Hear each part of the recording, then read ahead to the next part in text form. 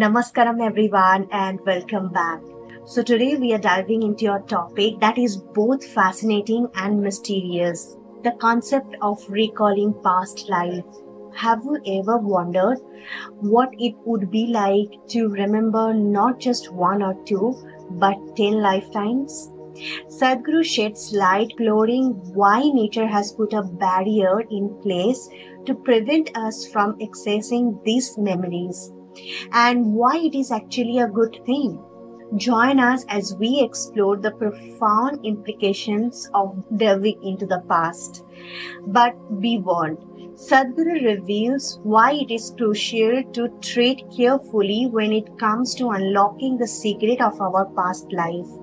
Let's embark on this journey together and uncover the mysteries of the mind. Get ready to expand your understanding and delve into the depths of consciousness. Let's dive in. Days they were saying past life regression. This is a better terminology, at least they're a little more straightforward about it now. Hypnosis essentially means that you're not really trying to access reality through hypnosis. You're trying to establish whatever you wish, isn't it?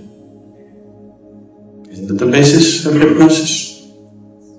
If you hypnotize a person, you're not hypnotizing him because you want to take him into reality. You want to invent reality, isn't it? If you want to take somebody into reality, you need awareness, which is just the reverse of hypnosis.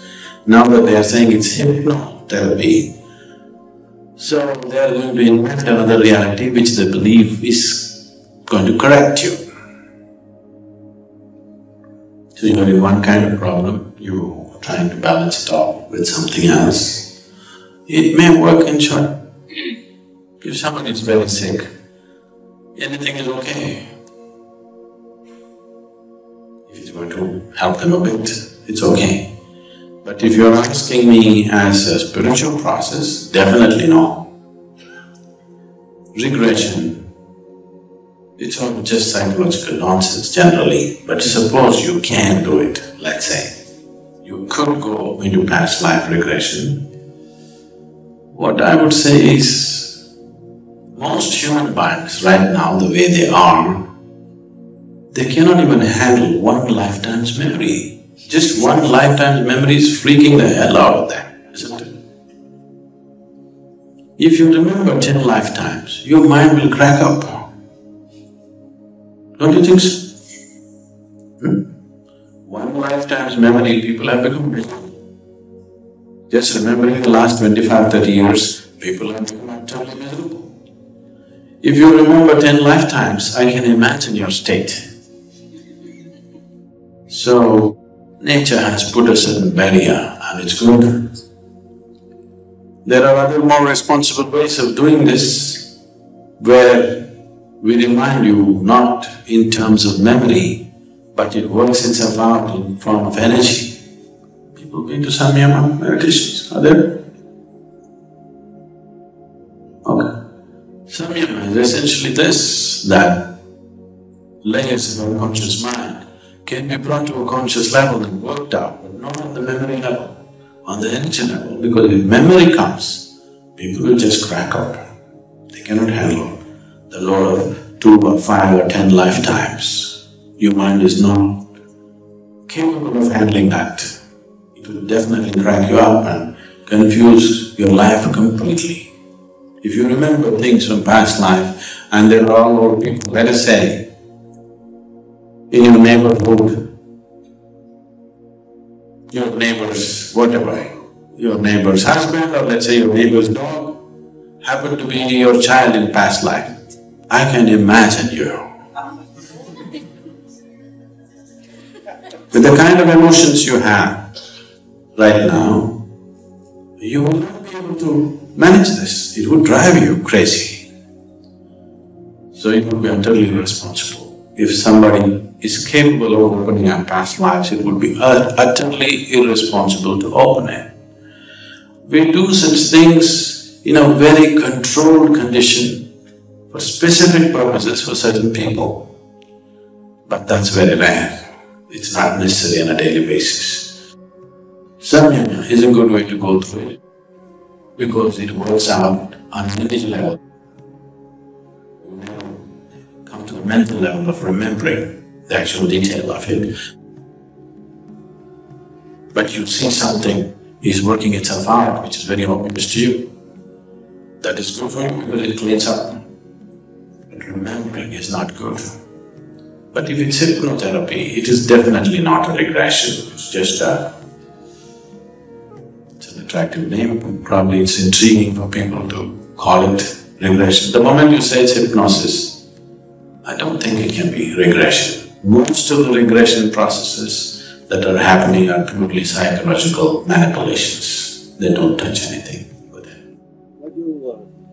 speak about uh, the futility of going after, you know, trying to remember past lives and all of that because one may not know how to handle all the experiences that come with it.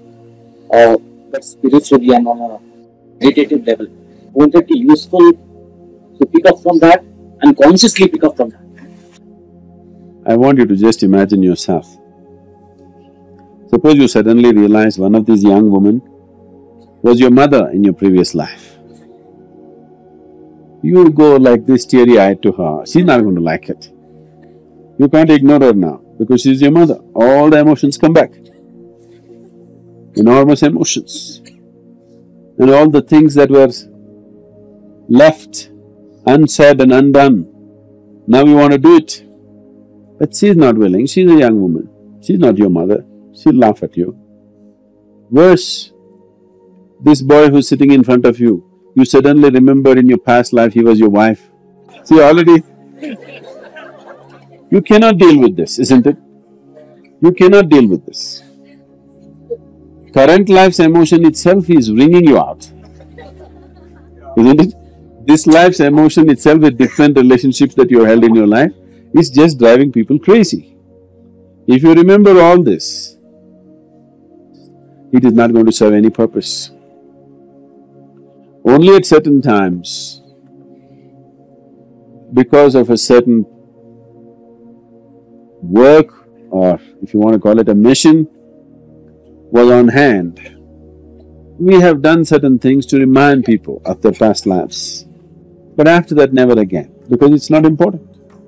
I met a lady, I met a man first, the aggrieved husband I met first. The man comes to me and, uh, you know, he moved from India to United States and he's doing very well there, successful, everything. But now, the wife has been seeing psychics and on the phone, she's on with them, on with them, paying hundreds and thousands of dollars as bills. Above all, the psychic has convinced her, in her previous life, Tom Cruise was her husband. She believes one hundred percent. So, she buys a huge house in Beverly Hills and every Saturday she's throwing parties, hoping one day he will walk in. And she's sure he will walk in because the psychic has told her, you just be in that area, just keep throwing parties, one day he will walk in and carry you away. So he came to me and said, Sadhguru, what to do? I have uh, Tom Cruise's wife at home. I said, uh, okay, you send her to me. We will see. So I said, let her come to the Inner Engineering program. We had a retreat on the Great Lakes uh, in Michigan. So beautiful resort and uh, we have a, Inner Engineering retreat which we are not doing anymore. So she came for that. So as soon as she comes, uh, she wants to meet Sadhguru, meet Sadhguru, meet Sadhguru. I said, no, no, no, go through the program, after that we will meet. But uh, she was putting so much pressure on everybody, no, I have to meet him, I have to meet him. So, uh, on the first evening, you know, the evening introduction happened, next day I avoided her somehow. Next day evening I got stuck with her. I had to meet her. Then I said, okay, and we sat. Then uh, she opened up. I think my husband has told you already, but I'm telling you, this is one hundred percent true. What do you think? I said, yes, it is true. Even I… I'm very clear. In your previous life, Tom Cruise was your husband, yes. She was very happy, at last she found a guru. Then I said, you know, I also knew him very well in his last previous life, but he was so ugly in his last life, but this time he's turned out pretty good. She said, what? It never occurred to her in his previous life, he need not look the same way. so this past life nonsense can get into a deep mess. You don't do that. Handling this life well is important, very important. This is on hand. and uh, Another problem that people have is, Sadhguru, was I with you in your last life? I said, see, if you were with me and you didn't make it, I don't want to have nothing to do with you in this life. If you're a fresh candidate, let me look at you. If you're a failed candidate, what do I do with you? So I'm saying, all you will do is get into hallucinatory states of imagining all kinds of things. This is what you need to get out of because mind has a million compartments. It can make up stories in such a way that you cannot imagine possible, it'll make it absolutely real. See, there are schizophrenic people, people who have multiple personalities. One case which has been recorded is a person having thirty-two full-fledged personalities thirty-two. But I'm telling you, mind has the capacity to generate a thousand if you want. That is the capacity of the mind.